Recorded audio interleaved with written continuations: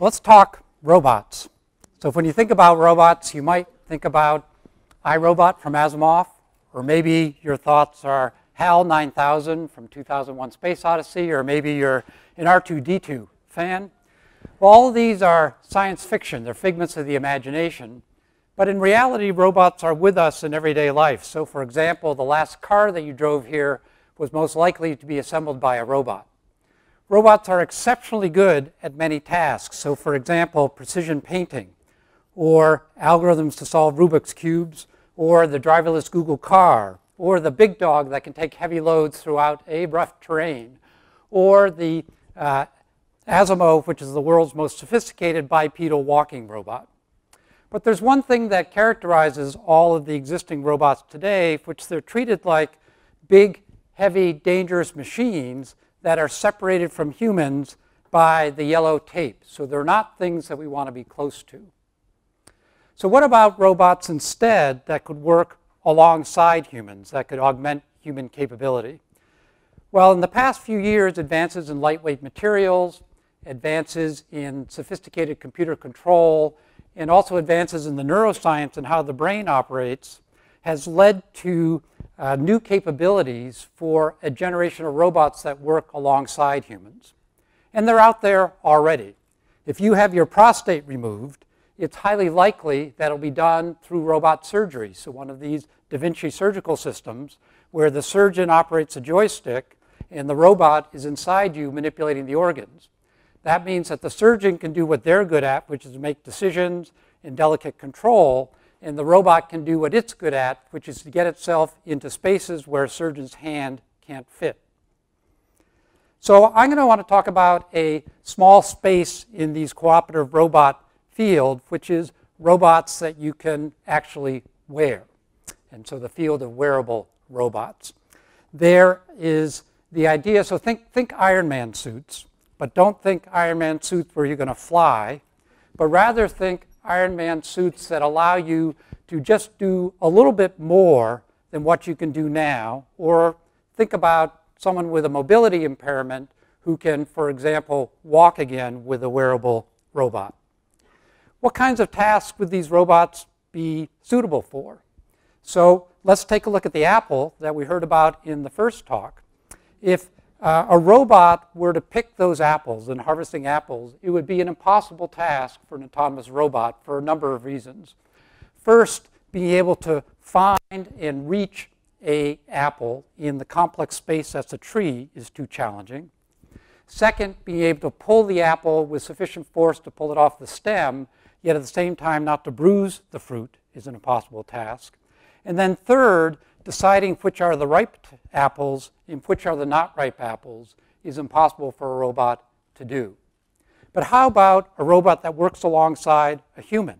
Now, for a human, this is a back-breaking task, but humans are very good at deciding which are the ripe apples and which are the not ripe apples. So why not have a robot and a human working together where the robot provides the brawn and the human provides the brains? So let's talk about a few, um, uh, a few wearable robots, and I'm going to start off talking about a muscle-powered wearable robot. The particular application I want to talk about is spinal cord injury. When you move, the signal starts in your brain and travels down through the neurons to the spinal cords, gets about mid-back, makes a connection to another nerve, then goes down to the muscle, and the muscle contracts to make you move.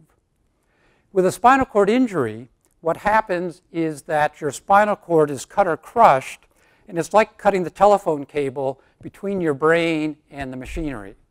The machinery is still perfectly good and works perfectly well, but the problem is that you cannot control that machinery. So it turns out that if you apply pulses of electricity to that muscle, either with an implanted electrode or from the surface, you can get that muscle to contract in the limb to move. And the muscle really doesn't care whether it's got its signal normally or its signal through the electrical stimulator. So that's kind of a hard concept to believe. So let me, uh, let me show you. So I've got myself wired up with a electrode on my biceps, in fact, two electrodes. And I've got a little box that can apply pulses of electricity to those electrodes. And I've got the, the volume knob right here that um, adjusts the strength of that contraction. So I'm just going to sit here uh, relaxed with my arm by my side and turn up the volume. And I feel my muscle contracting. There my arm goes up. And I turn down the volume, arm goes down, up, and, and down. So the, the muscle doesn't really care to some extent whether it's activated this way or whether it's activated through the normal neural sequence. So here is Kelly, and Kelly is paralyzed from the waist down, and she is able to walk. It's a very um, slow walk. It's about one tenth the speed that you and I walk, but nevertheless, she is able to walk because her um, uh, pads of uh, electrical um, um contacts are on her legs, and it's to a computer that's sequencing the walking. So here's an, that's an example of a muscle-powered robot that can provide a little bit more capability to a individual that they otherwise might not have. All right, so now let's take a look at non-muscle powered uh, robots. Uh, and this gets us more into this idea of these uh, very um, uh, uh, simplified low-power Iron Man suits. So one of the questions you might want to ask yourself and especially these are the kinds of questions that as an engineer we ask ourselves, well, gosh, if we're going to build these simplified Iron Man suits, how much power do we have to give people in order for it to be, do something useful? So then the question is, how much power do people have? Well, it turns out that on the one hand, it's, it's impressive. So for example, if you are an elite athlete and you are, say, on a spinning cycle and you go for five minutes, then you can produce about 1,000 watts of power during that five minutes. If you're that same athlete, and we're talking elite athletes, sort of in the Lance Armstrong category, and you want to go for 100 minutes, then the total mechanical output power that you can produce is about 350 watts, not so much.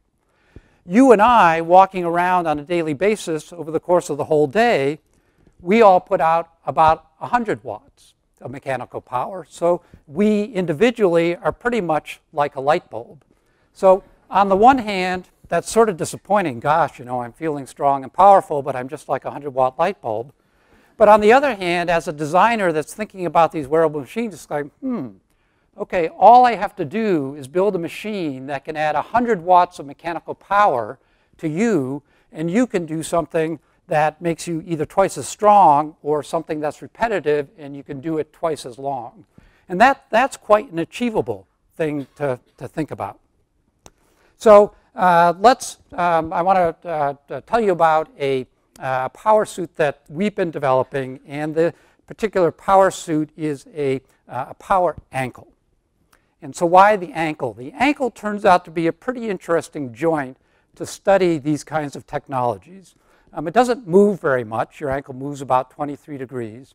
And the torque is um, big but not so big. So to, to lift you up and down on your toes takes about 75 newton meters. And then your, your ankle um, kind of has a lot of power but not a lot of power. So this plot shows you the time history of power in your ankle as you take one step. Your ankle produces about 13 watts, which isn't too much but it peaks to 200 watts. That's that spring in your step right at toe off. And so that's kind of a interesting challenge to reproduce that power cycle that gets us engineers excited. So here's our vision of our ankle power suit. And the idea is that it's got a compact power supply, it's got a compact motor at the joint, and it's got some sensors and can give you the capability of your, your normal ankle. And our specs are we want it to weigh about one kilogram, two pounds. That's about the weight of a heavyweight hiking boot because any more than that interferes with your gait. We like it to fit under a loose fitting pair of pants, not skinny jeans. And we'd like it to last about 3,000 steps between recharge. So that's our challenge. So in order to do that, we need small, lightweight motors. We've determined that those small, lightweight motors should be um, fluid power or hydraulic driven. Now, this is a kind of technology that ordinarily you think about for big yellow construction machines. So, for example, here's an excavator that was digging the light rail line in Minneapolis. And what, when you look at that excavator, what's intriguing is that that hydraulic piston at the top can produce 275,000 pounds of force, yet it's still relatively lightweight. The reason why that's good for a power suit, if I wanted to drive my wrist and I had a big heavy motor on my wrist, it would mean that the motor that's on my shoulder would not only have to carry the weight of my arm, but also the weight of that big heavy motor on the wrist. So I want something lightweight. So now the reason why these pistons are lightweight is it has to do with fundamentally with how they produce force.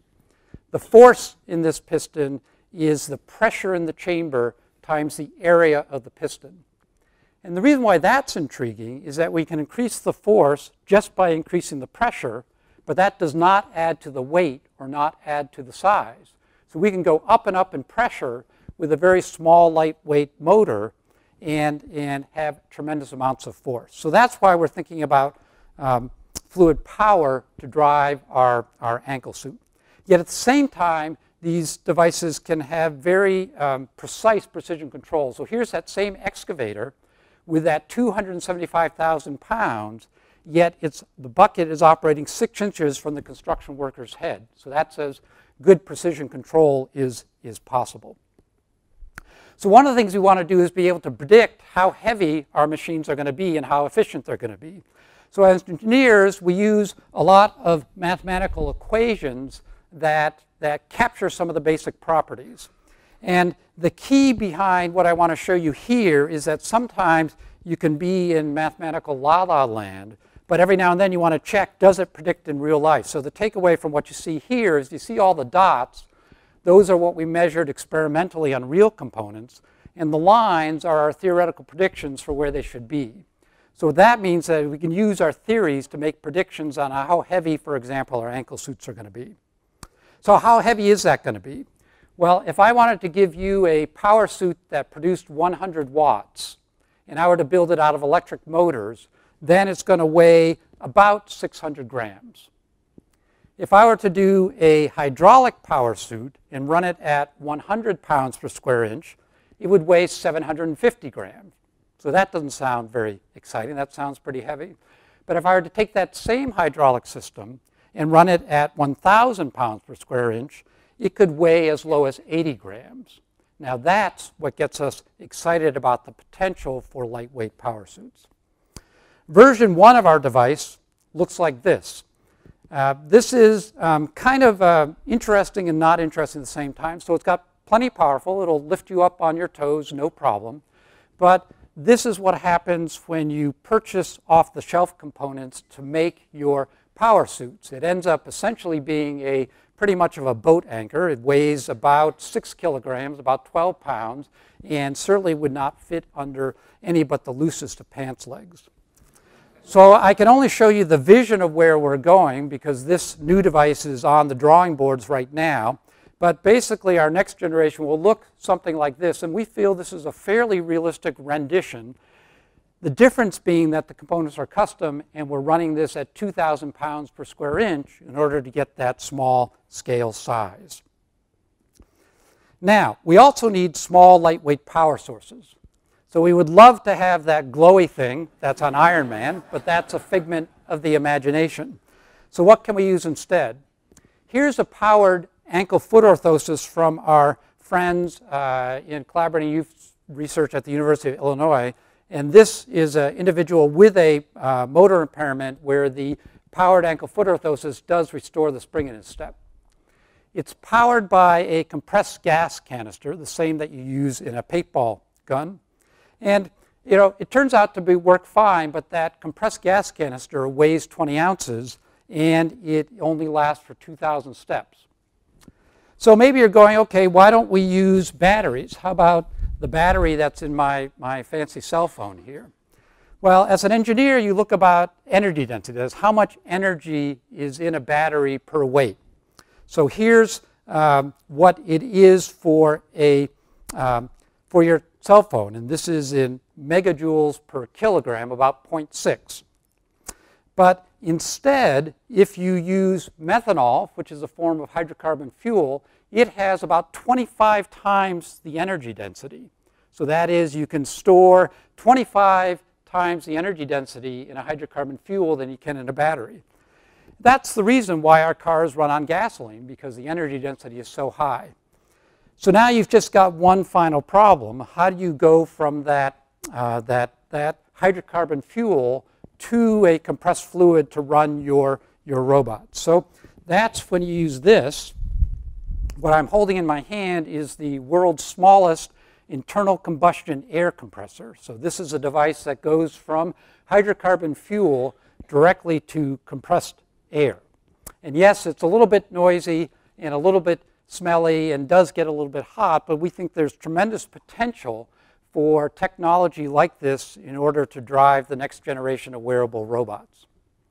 So what I hope I've done is to convince you that what you really want to do is to walk around with 2,000 pounds per square inch of hydraulics at your ankle and a gasoline engine on your waist.